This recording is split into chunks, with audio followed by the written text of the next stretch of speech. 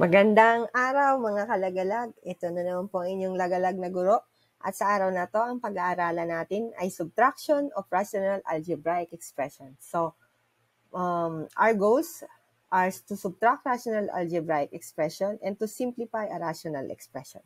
Okay, let's proceed.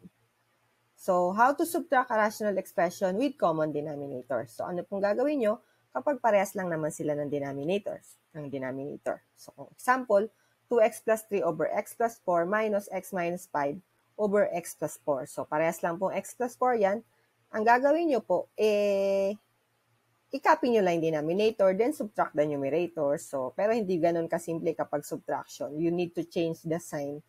Okay? So, for example, this one, I just copy the denominator, but, pansin niyo po, this is x minus 5. I put it in parenthesis kasi magbabago po yung sign yan. So, you multiply negative times positive is negative x, negative times negative, this will become positive 5 after removing the parenthesis. So, magiging ganyan po siya. So, you perform your operation, 2x minus x is x, 3 plus 5 is 8, so over x plus 4. So, this is your final answer. So, what is the domain of this expression? You just uh, equate your denominator to 0 and your answer will become negative 4. So, The domain of this expression x plus 8 over x plus 4 are set of real numbers except negative 4. Okay. So another example is subtract, uh, no.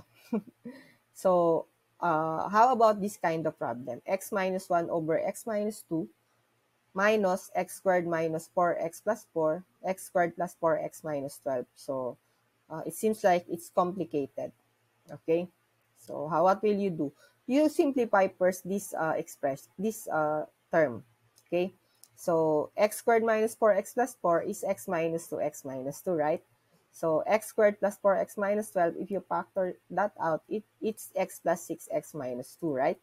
So, kaano nyo po muna, simplify nyo muna. So, you can cancel this out. They, uh, they, have, they are common.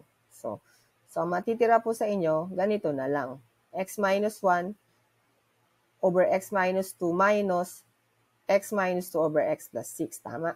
So, paano nga po kunin yon Parang nung nag-add din po tayo, kunin nyo lang LCD. So, you just get the, or just get, get the LCD or you multiply yung x, ito yung sa denominator ng kabila. So, x plus 6 by x plus 6. Ito naman, since x minus 2 to x minus 2 over x minus 2, why?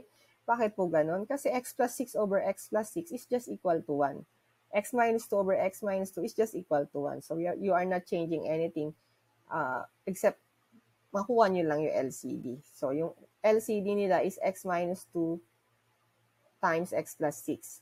So, you perform your operation. Ayan po, nag-multiply na ako. So, magiging x squared plus 5x uh, minus 6 yung isa naman, x squared minus 4x plus 4. Okay? So, yun, parehas na sila ng denominator. So, para po matanggal natin yung parenthesis na yan, you perform your, uh, yung, yung operate, yung tanggal, yung sa sign. So, that is minus x, that is, it will become positive 4, dahil negative times negative, this will become negative 4. Then, uh, proceed, you perform your operation. You copy the uh, ito pong ilalim, yun yung LCD niya na. Then, you combine like terms. x squared minus x squared, so cancel po yan. Uh, 5x, 4x, so that is 9x, negative 6, negative 4, so negative 10. So, this is your final answer. So, if you want to get the domain of uh, this expression, it you equate these two uh, to 0, it's positive 2 and negative 6. So, therefore, the domain uh, are set of real numbers except positive 2 and negative 6. Okay? So, uh, let's try solving uh, two more problems. Okay, so try po natin mag-solve ng uh, additional problems. 2 to 3. Um, okay, so 2x over uh, 3 minus x minus 1 over 4x. So, again, uh, this is, uh, they have different denominator. So, what will you do? So, the process po is actually, you get the LCD, pero para hindi po tayo, hindi na po kayo ma, maisipin nyo pa yon itong method na to. So, saan po natin ko po ito kinuha? Doon lang po. Ayan. Okay, so this is just equal to 1. If you notice, over over 1 siya. Okay, so this is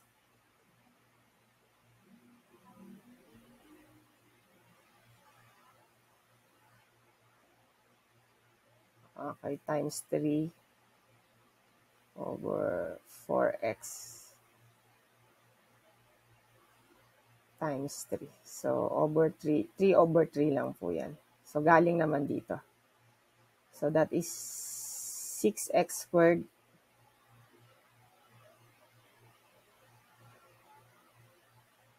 Okay, so before performing your uh, operation, dito ka muna mag-distributed. So, 3x minus 3. Okay, over. So, that is uh, 4x, 12x. Right? Okay. Susundan po ako. 3 times 4 lang po yan. Common na yan sa kanila eh. So, simplify na natin. So that is 6x squared. Then, we remove the parenthesis here. So, hindi basta tinatanggal yan. So, negative times positive is negative 3x. So, ito yung sinasabi ko. Sinasabi ko dun sa addition na hindi basta nagtatanggal. So, negative times negative is positive 3. Okay? So, over uh, 12x.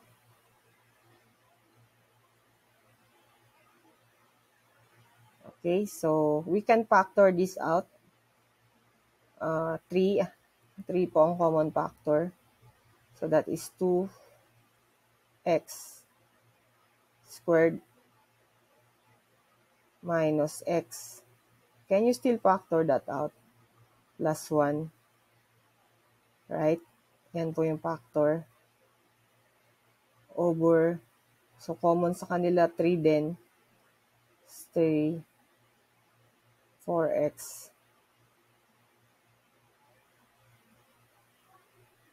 So, you can only cancel kapag uh, they are separated by product.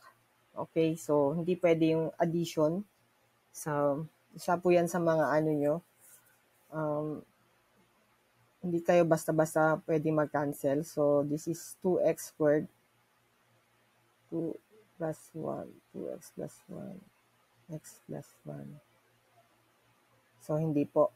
Wala pong ano, unless mag-synthetic division tayo. Pero, so that is your final answer po. 2x squared minus x plus 1 over 4x. Kagaya nito, baka po i-cancel nyo yung 4 sa 2, hindi. Kasi uh, hindi na siya uh, trinomial na po ito. Buong term na po yan. Hindi na basta i-cancel. Okay, so 2x x plus 1 2x plus 1 So, hindi po ma x minus 1. Um, okay, so kahit naman po ma-factor pa natin to, 4x naman na to, so wala na rin po tayong uh, magagawa pa. okay, so try po natin iba. Uh, 1 over x minus 1 uh, minus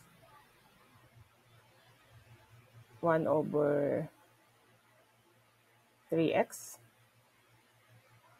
So, again, uh, ano pong gagawin nyo? Just get the LCD of x minus 1 and 3x. So, okay. So, ito po yung madali. Ito na lang po yung gawin nyo. So, saan ko to kinuha 3x over x? Ito po yan na. So, bakit sa sarili ko siya sinidivide? Kasi 3x over x is just 1. Okay. So, 1 over 3x over nyo naman sa, times nyo naman sa x minus 1. Diba? Mas uh, madali po. Okay, so this is 3x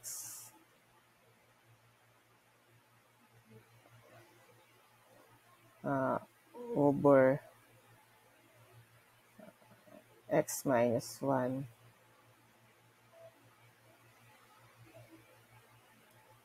uh, 3x. Okay. So, minus. Hindi po kayo makita mo parehas, pwede mo cancelin. Hindi po ah, kasi they are not separated by product ah. Addition, subtraction po nagsiseparate sa mga terms. Minus uh, x minus 1. So, I'm not uh, simply writing kasi it will, sign will be changed here. Okay, so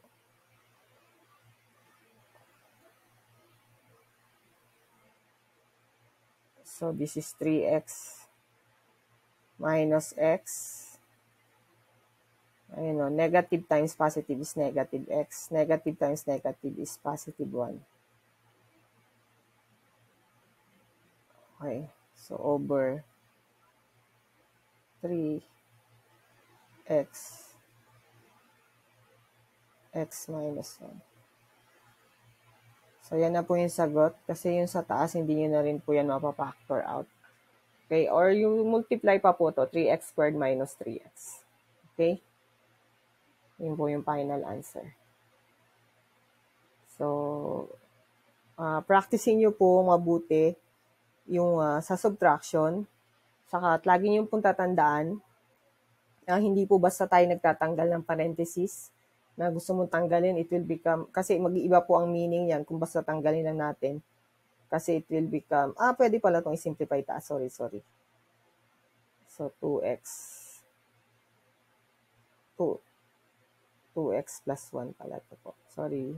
Sorry, sorry po. Sige, i-multiply ko na itong baba. It will become 3x squared minus 3x. So, yan na po yung uh, final answer talaga. Okay. So, yun po. Uh, if you have questions and clarifications, um, comment nyo lang po sa comment box. Uh, wag po kayo mahihiya. Okay, so these are my references. Makikita nyo po yan sa description box for additional problem sets and uh, problem uh, uh, and problems para po ma-practice po at ma-enhance yung knowledge yung natutunan nyo. Okay? So, and that's it. Uh, do not forget to like, subscribe, and hit the notification bell para updated po kayo sa mga uploads ko. And uh, keep on uh, practicing and ma-improve nyo po ang inyong math skills. Okay, so since uh, in Boston, uh, magkakatabi po yan, yung Massachusetts Institute of Technology. Uh, magkakatabi lang sila, yung Harvard. Okay? So, you dream big at uh, someday magkakatotoo po yun. So, thank you. Bye-bye.